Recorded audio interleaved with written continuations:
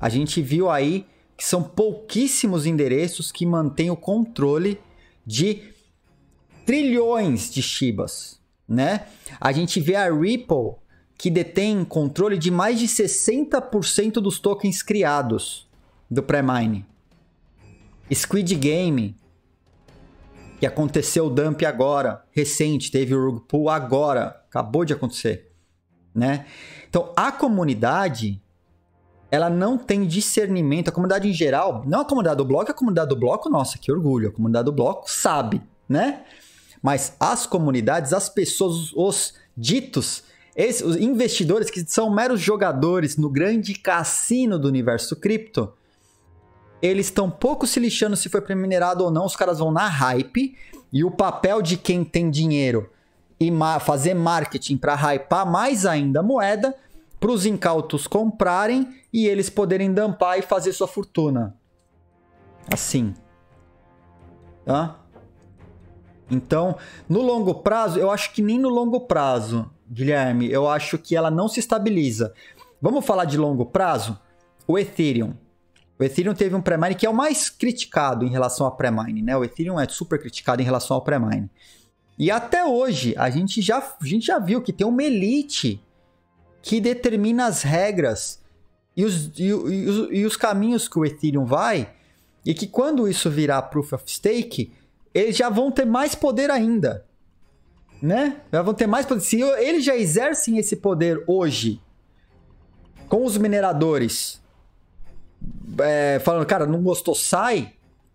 Num futuro próximo, esses caras vão ter mais poder ainda no Proof of Stake. E aí, a gente vem para um outro lado agora, falando do Proof of Stake, eu quero trazer um vídeo do Charles Schrein. Eita, que eu me perdi no botão tudo aqui. Live Coins, o portfólio do vizinho é sempre mais verde.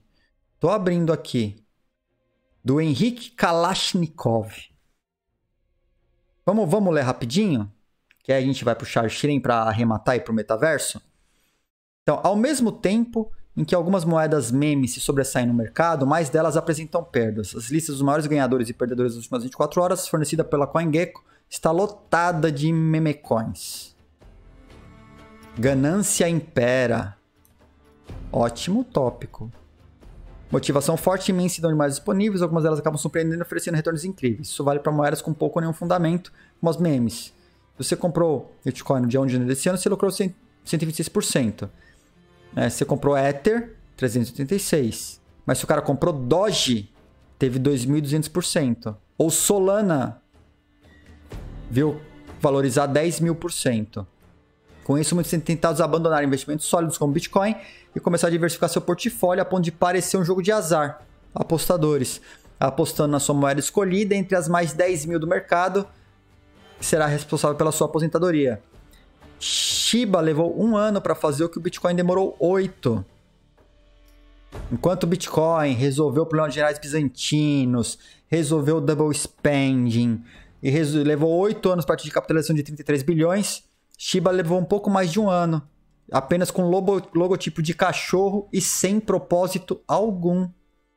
Apesar disso, por transformar investimentos em pequenos milhões, até bilhões de dólares, chamou a atenção de outros que não se contentam apenas com bons lucros.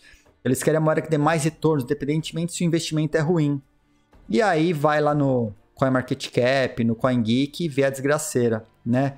Aí fala da gangorra, né? Uma sobe, desce. Pô, poderia ter ganho 10 vezes isso, não sei o que. Aí é ganância pura, né?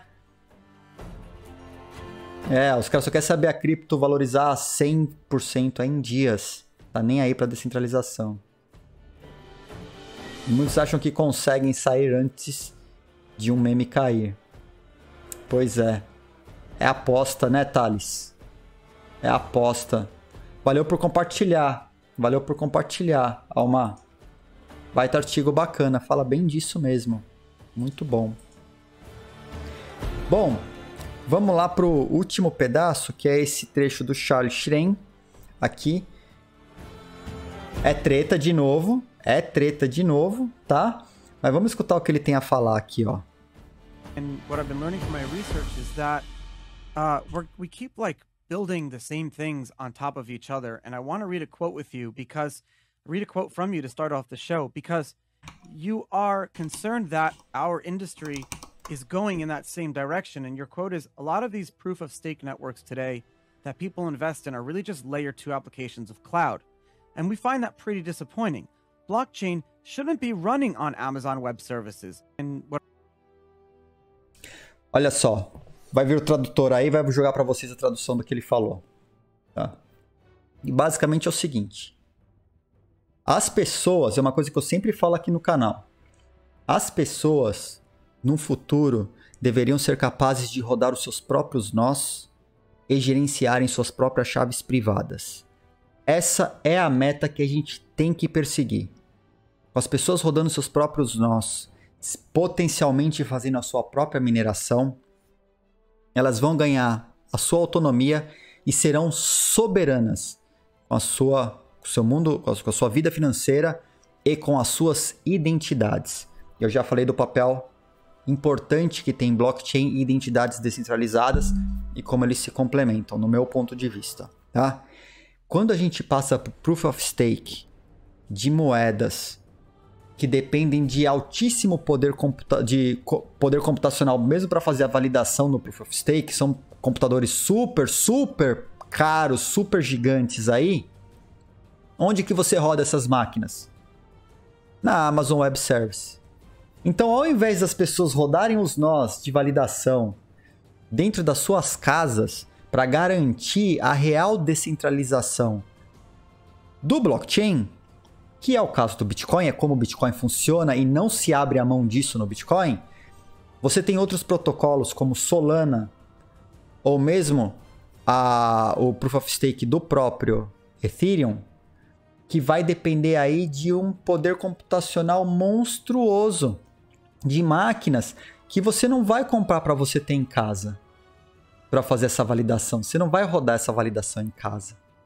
E aí, a partir do momento que essas máquinas todas validadoras passam a ficar concentradas em data centers, e aí temos três ou quatro no mundo, né? A gente pode falar que a gente tem a, a Amazon, a gente tem a, a Microsoft, a gente tem a do Google, pode ter uma da IBM, uma da Oracle aí que ninguém usa. Brincadeira, tá? Mas vamos falar as três grandes aí: Amazon, Google e Microsoft. Cara, você está centralizando toda a validação do, do, do da, dessa criptomoeda, cara. Né?